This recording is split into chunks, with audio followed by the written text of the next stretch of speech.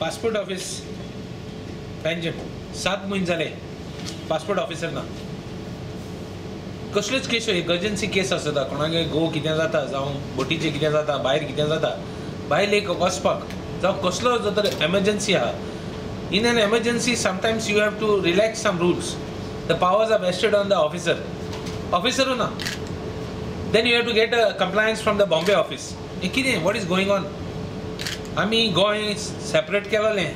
आमी गोंय मर्ज करपाक डिसिजन घेवं ना. तेगे पुतलोय घात म्हूण सांगेलो बाब सिकेराचो आनी तोय ना.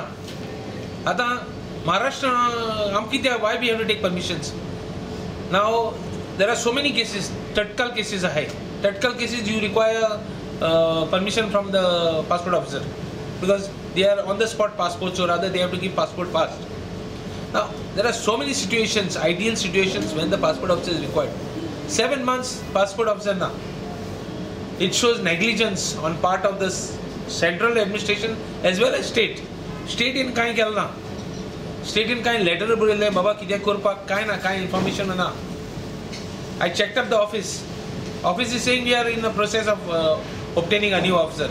Process of obtaining a new officer is seven months. Goenka Ekui officer now there are so many deputy collectors, collectors levels. So many officers can be deputed. Why it is not been done? What is the reason? Is it some systematic way where some people can go through Goa passports? Is it some sort of a plan? There has to be investigation why this is not done. Video journalist Alfred Fernandez from Panjim for HCN.